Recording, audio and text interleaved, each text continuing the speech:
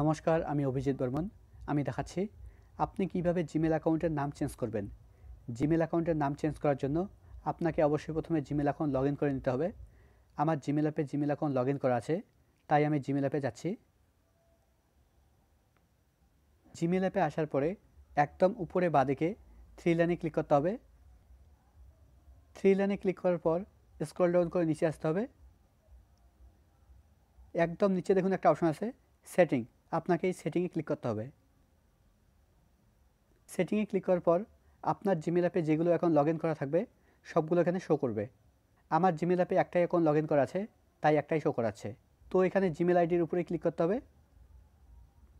এখানে উপরের দিকে দেখুন একটা অপশন আছে ম্যানেজ ইয়ার গুগল অ্যাকাউন্ট আপনাকে এই ম্যানেজ ইয়ার গুগল অ্যাকাউন্টে ক্লিক করতে হবে।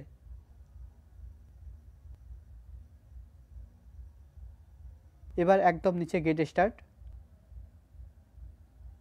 গেট স্টার্টে ক্লিক করার পর আপনার সামনে একটা এরকম পেজ ওপেন হবে। এখানে দেখুন প্রথমে হোম তারপর একটা অপশন আছে পার্সোনাল ইনফরমেশন আপনাকে এই পার্সোনাল ইনফরমেশনে ক্লিক করতে হবে। পার্সোনাল ইনফরমেশনে ক্লিক করার পর নিচের দিকে দেখুন লেখা আছে নেম তারপর আমার নামটা শো করাচ্ছে নাম চেঞ্জ করার জন্য আপনাকে এই নামের উপরে ক্লিক করতে হবে। আমার জিমেলে যে নামটা দেওয়া আছে, সেই নামটা এখানে শো করছে। এবার নামের ডান দিকে দেখুন একটা পেন্সিল আইকন আছে। আপনাকে এই পেন্সিল আইকনে ক্লিক করতে হবে। এবার প্রথমে এখানে ফার্স্ট নেম আমার নামটা শো করছে। তারপরে সার নেম মানে আমার নামের টাইটেলটা শো করছে। তো এখানে আপনি নাম চেঞ্জ করতে পারবেন। আমি নাম চেঞ্জ করে দিচ্ছি। আমি দিয়ে দিচ্ছি অভিজিৎ। সার নেমের জায়গায় আমার নামের টাইটেলটা দেওয়াই আছে। এবার নিচে আসি। এখানে দেখুন একটা ব্লু কালার বটন আছে।